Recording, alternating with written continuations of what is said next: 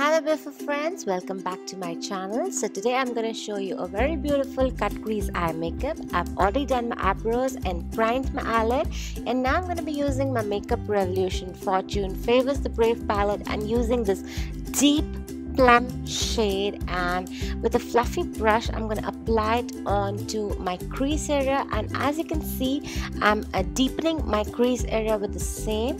Then I'm just gonna uh, go ahead and pick some brown eyeshadow on a pencil brush and gonna apply it onto the outer half.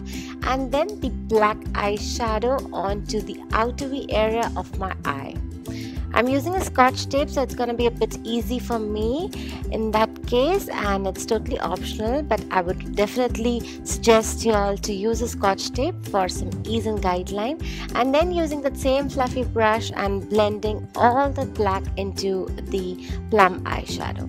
Now I'm going to be using a concealer and going to do off my cut crease. Yeah, that's quick.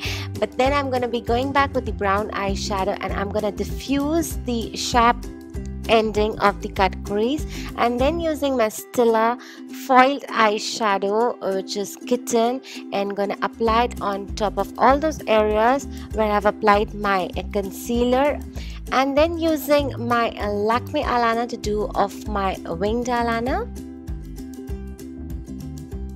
Next is definitely highlighting my brow bone area with a beautiful shimmery eyeshadow and now I'm just to quickly finish off my face and then I'm to be applying that same brown and black eyeshadow onto my lower uh, lash line and a nude pencil on my lower waterline, some mascara and some lashes and the look is done. So this is it. I hope you'll like it. If you like it, don't forget to give this video a huge thumbs up.